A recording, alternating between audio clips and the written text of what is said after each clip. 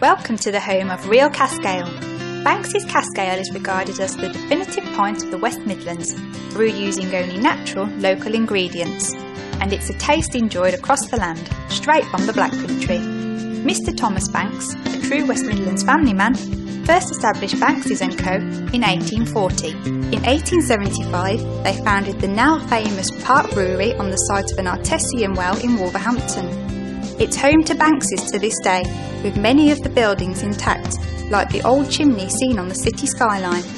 Our proud history and heritage isn't just confined to our buildings. The live strain of yeast in all Banks's cask ales has been in use for over 100 years.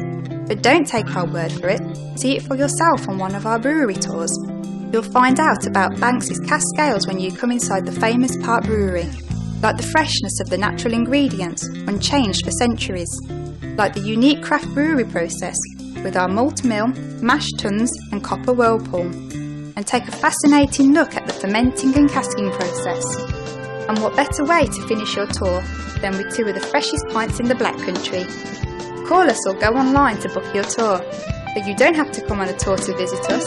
Our brewery shop is open 10 till 5pm Monday to Friday and Saturday mornings until 12 explore our huge range of real ales and memorabilia, as well as our limited edition bottle beers not available anywhere else. We hope to see you soon.